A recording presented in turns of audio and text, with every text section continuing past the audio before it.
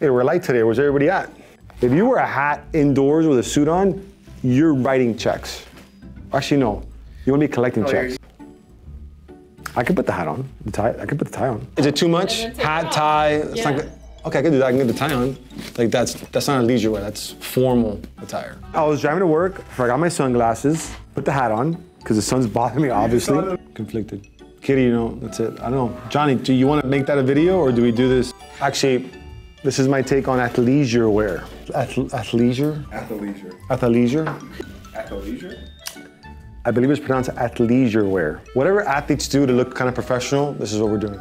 It's just, yeah, maybe the angle is, what is athleisure wear? Athleisure wear. They could do like a little runway, like the hat, you can go no tie, jacket, and athleisure wear.